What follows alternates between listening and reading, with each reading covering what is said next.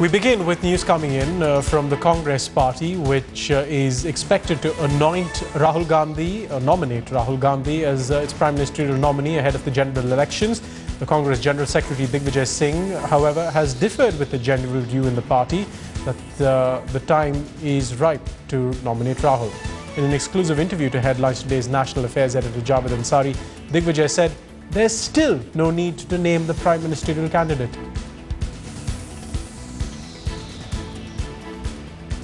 I've always held the view that uh, in a parliamentary democracy there is no need to declare a prime ministerial candidate. It is ultimately the political ideology, the political programs and the, the uh, issues which uh, the party takes up and goes to the election.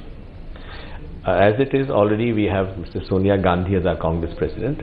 But obviously she will not be Prime Minister, she is twice refused. Agreed. But let first the people of this country elect us. Why, why are you all prejudging the issue?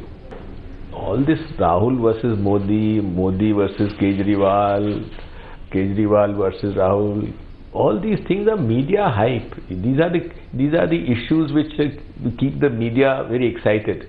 But the fact remains that you can't talk in a parliamentary democracy until unless you get the mandate. So uh, we don't have such thing as a sh shadow prime minister here. We so therefore I think the shadow prime minister is always from the opposition party, and the opposition leader is is not the shadow prime minister. They have declared their prime ministerial candidate that uh, it's not Sushma Swaraj but uh, Mr. Narendra Modi.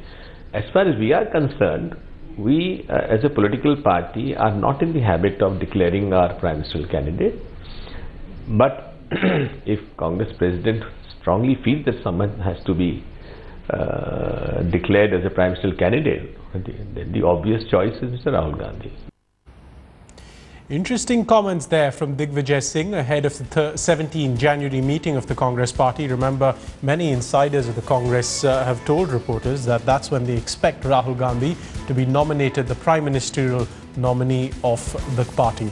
Javed Ansari, who was interviewing Digvijay Singh, uh, is now live with us for more on this. Uh, Javed, uh, Digvijay Singh is seen as being close to Rahul Gandhi, one of his advisors over the past uh, nine or ten years. Uh, and it's interesting that his comments come at a time just before his expected nomination.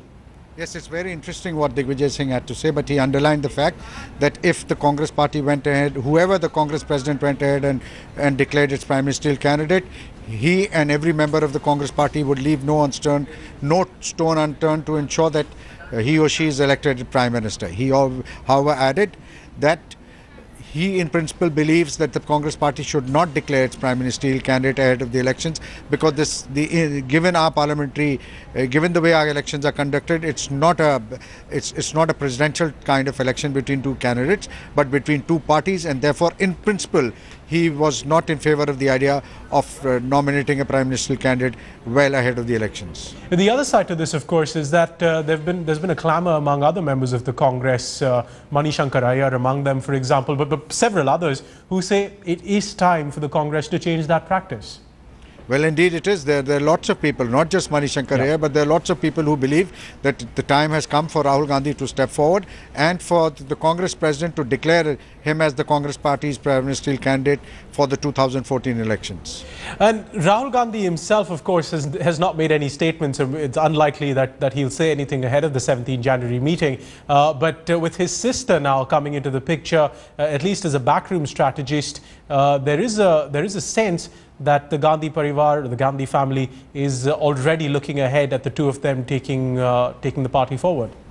Yeah, but I'm not so sure if Priyanka Gandhi will have, is uh, inclined to play uh, a full-fledged role in politics. This is what she's doing is is not new. I'm not at all surprised by it. I'm aware of the fact that she's been helping out her brother as well as her mother for the past 10 years. This yeah. is this is nothing new.